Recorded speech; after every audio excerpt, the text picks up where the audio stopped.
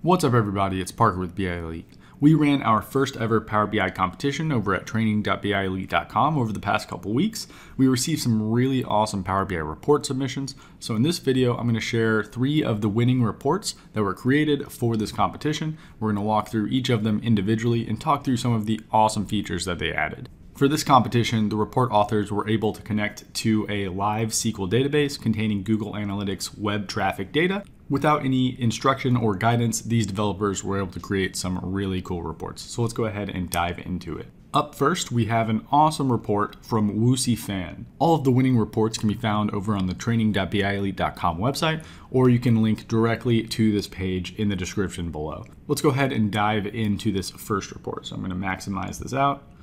And first impressions of this report is it's very simplistic and clean, and I like that. The coloring is very consistent.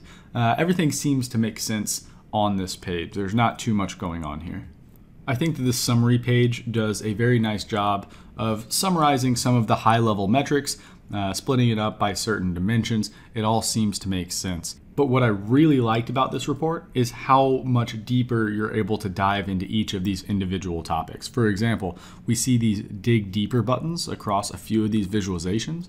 If we dig deeper into this entrances trend visual, we're actually able to navigate to a new page that goes a lot deeper than just that high level summary on that first page. Woosie also added dynamic metrics on the left side, so in case I want to view page views instead of users, I can change everything that's plotted on my page. That's really, really cool. I think my favorite part of this entire report is actually this visual down here. This is showing your selected metric over the hour of the day by continent. Since this data is coming from my actual website data, this is really interesting to me as the data owner. For example, I'm able to see that people in Asia are logging on to the website sometime between midnight my time and I guess the end of the peak will be 10 a.m. my time. So then they would go to bed over in Asia, and we see Europe kind of come on a little bit later. Then Americas seem to be peaking around 10 a.m. my time, which is what I would expect.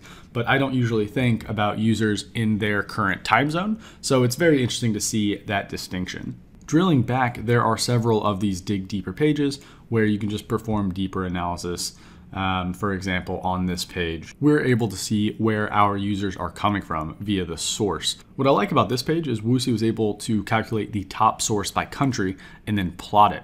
So we see that uh, China, for example, their top source is actually a direct visit directly to the BI Elite website, as opposed to, let's say, uh, the USA, where uh, the top source is actually from Google. So it's really interesting information to me as well. Overall, I think this report provides a very nice overview of my data. So in case I didn't want to dive too deep, it would give me everything that I would probably want to know as a top level user, but also allows me to dig deeper if I want to. And that's why this report deserves to be amongst the winning submissions. If you want to get in touch with Woosie, all of the contact info is down below underneath that report submission. Next up, we have another great report, nice, simple, and clean report. I'm gonna go ahead and maximize this. This report submission comes from Michał Bietzki. What I like about this report right off the bat is it's very clean, not too many visuals on the page. For example, there are three major visuals on this home page, uh, one small kind of minor visual on the left side, and all of your filters are saved on the left side as well. I also like how Michał used the BI Elite colors as the default colors for this report and the colors are consistent across the entire report. For example, we have this color coding section where he has decided to make new users green while returning users are blue, and that is consistent throughout. My favorite thing about this report is the level of polish that was added to it. For example, we have navigation up here in the top right, and it just seems very seamless in order to go from page to page. So we know that we're on the user's page because it has popped out a little bit. It has that shadow. If we want to go to the geography tab, it has a nice uh, faint little background color when we hover over it. And if we go to that geography tab, we'll see that pop out to the forefront. Again, this page is very clean, gets the point across very nicely. I want to spend a little bit of time on this post tab. This is what stood out for me. Um, as we look into the post by category matrix, let's drill down into this blog category because that is where most of the page views for the BI Elite website come from. So let's go ahead and click on a single web page because we see in this section down here, it says select one page in the table to see its preview. So let's go ahead and click on one of those pages.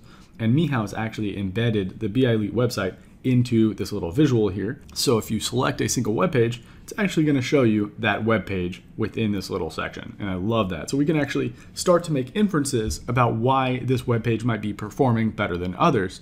If I were to scroll down to a web page that's not performing as well, maybe I click on one of these, it doesn't have many page views. Maybe this looks a little bit different and we could start to understand, oh, I see why there's only a couple lines of text on this page as opposed to the other one, which was a longer blog post. Very, very cool feature that he added, just kind of adds a little level of detail that I wouldn't expect from most Power BI reports. And then finally, uh, Michał ended with an about page. Michał is also a Power BI YouTuber, so make sure you do check out his channel. He posts videos in both Polish and English, really high quality stuff. All of his social links are on this about page of the Power BI report, or if you want to navigate to his LinkedIn or YouTube channel, his information is on the page as well. And our final submission comes from Bill Skelly. This is one of my favorite reports uh, that was submitted over the past couple weeks, and mostly because I can tell that Bill put in a ton of time and effort into this report. It's seven pages long and just goes into so much detail about every single metric and dimension that is included in the database. As the website owner, where this data is coming from, if I were to ask a consultant to build me a Power BI report around my data, I would love it if they went into this much detail. There are some nice, quick, high level metrics here. You can see some trends over the entire history of the website. We have a nice date slicer here, um, which kind of allows us to drill down into the quarters or months as well. Bill's also even added this refreshed win section. I really like that as well because that'll tell us just how fresh our data is. I'm going to skip through a couple of these tabs because there is a lot of information to cover, but you can just start to get an idea of the level of detail that is included in this report. Bill has included dynamic metrics. He's also thrown in a couple of fields into these chiclet slicers that weren't included in the default data. For example, I can see that Bill has split out the hours of the visits into four different sections, early morning, morning, late evening, and afternoon. That's really cool to have those buckets. So if I wanted to just look at late evening data, I might do so. Moving onward, there were a couple other items that caught my eye. Uh, let me go ahead and keep going through here. I like the fact that he added a box plot that is very statistical, and a lot of report consumers may not want that, but since I am more of an analytical mind, I love that he has added uh, these box plots here. There are a couple of items on this tab that I like as well. Uh, he has added forecasting, which I think is a really cool touch that's easy to implement, but adds a large impact to the report. He also added this uh, kind of stock price scroller, which is a really cool custom visual that I haven't played around with enough, but it just gets a lot of information in a cool and dynamic way. And two other items that I want to touch on uh, on some of these later tabs. I love that Bill has created this page specific to AI and machine learning we see that he has included a smart narrative visual here on the right side. There's some clustering performed. I love the decomposition tree just to give me a deeper view of those relationships between those dimensions. And on the final tab, there's just some simple text providing analysis about the data, which I think is a really cool way in order to convey some final information to the user and kind of put a bow on this report all in all, Bill did a great job and obviously put in a lot of time into building this report. And as always, you can find Bill's contact info down below his report. This was a great first Power BI competition. We're going to be running new Power BI competitions the first Monday of every month. So if you want to compete, make sure you stay on top of the contest page on training.bielite.com. We'll be posting all of the information about upcoming competitions there. The developers of all the winning report submissions will receive a free month off of their BI Elite training subscription. They'll also get shouted out in videos like this, and they'll have their contributions posted on the BI Elite training website, as I'm showing you here. Great job to everyone who participated in this competition.